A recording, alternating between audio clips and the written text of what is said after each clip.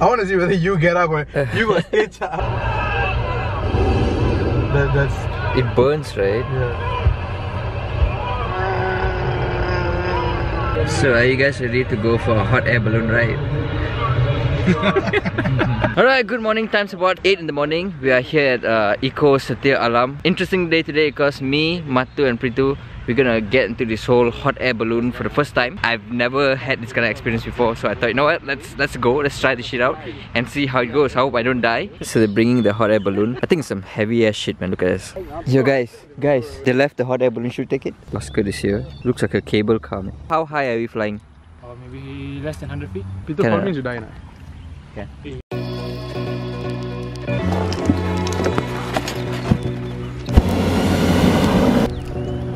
If you want to just buy a hot air balloon, we cannot buy just a hot air balloon. You need to know what is your plan, what do you want to do. Ah, okay. So what do you want, Pritu? special, you know. Huh? For me, special. Okay, if you want to have a special shape, then you need to come up with idea what shape, special shape you need.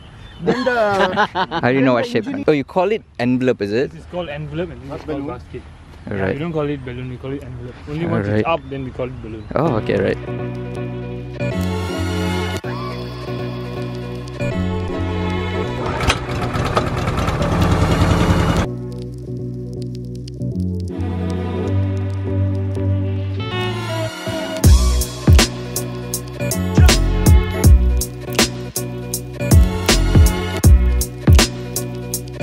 So what's going to happen? They are going to start the inflation. They're going to start the fire while I'm inside.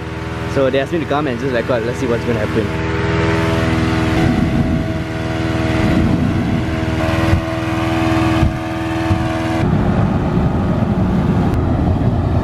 Also, I climb up. yes. One,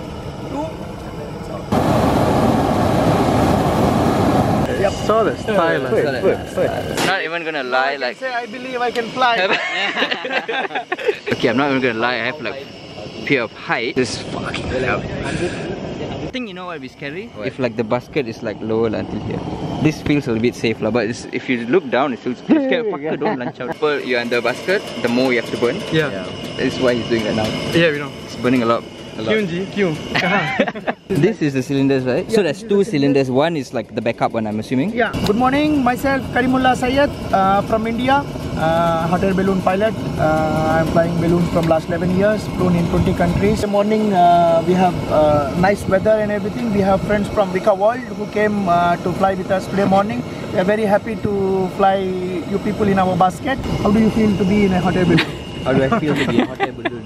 So I, I feel it's really nice, really something, something like Something, uh, something what? Something what? Yeah, I never experienced before. That's why. So the reason why I decided to come is because number one, like it's an, I've never been in a hot air balloon before, and number two is I thought I, it could be like a way for me to like overcome my fear of height, which I think. I, I, I think I did it. So you're gonna be the youngest Balloon hot air balloon pilot.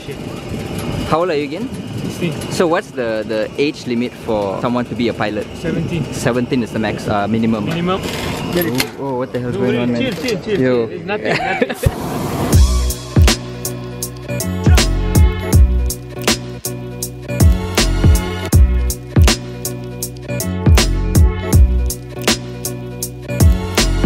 Oi, oi, oi, the basket, oi, the basket. Oh, the basket man.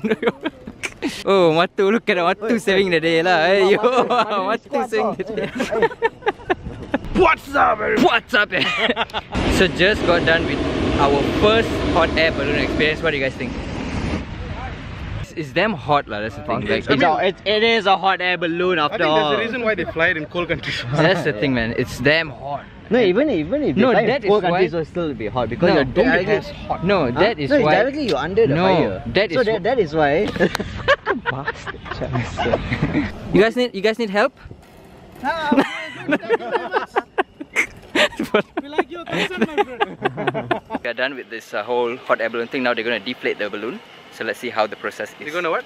deflate. What using big words? Hey, big words I can. uh, We are gonna ex- ex- Kachutkan. exclu- uh, extrugate. Extru. Uh, is that even a word? Is that a word?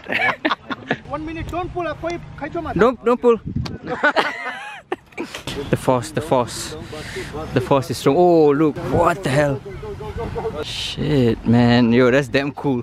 Okay, first of all, I want to say thank you to Glowing Intuition. Intuition. Intuition. Intuition. Intuition. Intuition. Ah, intuition. Intuition. Intuition. Intuition. In- Intuition. Shut up and listen first. Intuition. Intuition. Intuition. Whatever lah. Intuition. Intuition. Into. Into the tuition. Intuition. Glowing Intuition for having us. Correct, right?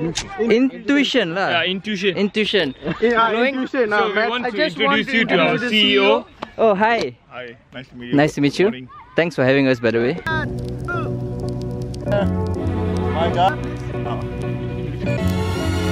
You know you gotta go to Bangsar with this kind of song, man. Hey, it's a- it just happened to be that we're in Bangsar. Listen, uh, everything. The whole there. Tengok badan dia besar-besar ah, makan oh, besar-besar.